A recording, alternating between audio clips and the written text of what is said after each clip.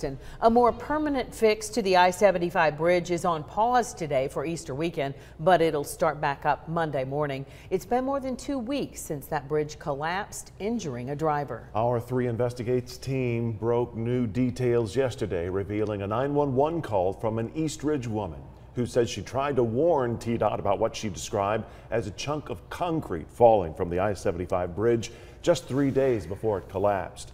That information was handed over to TDOT engineers who say they believe the caller saw grout falling, not concrete. They say that's normal. Channel 3's Tanisha Cordell continues our coverage. Uh, concrete falling out from underneath the overpass an East Ridge woman says she kept getting disconnected when she tried to call TDOT, warning them about falling concrete from the I 75 bridge. Um, TDOT's closed, so. Um... She told Channel 3 that's when she turned to East Ridge Police. There's big, huge, um, long chunks of concrete that are falling out.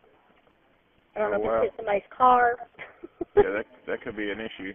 The dispatcher immediately relayed her message to TDOT's Traffic Management Center. Hey, Tracy, it's Ryan over at Police Dispatch.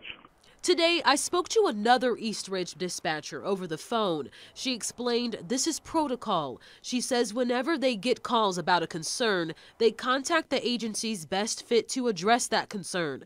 In this case, it was TDOT.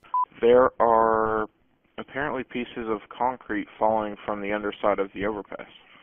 Due to the holiday, we weren't able to get in touch with East Ridge Police Dispatch Administration for comment. We did speak to Police Chief Stan Allen. He sent a statement complimenting the dispatcher who helped warn TDOT. You can read that full statement inside the WRCB app. In the studio, Tanisha Cordell, Channel 3 Eyewitness News.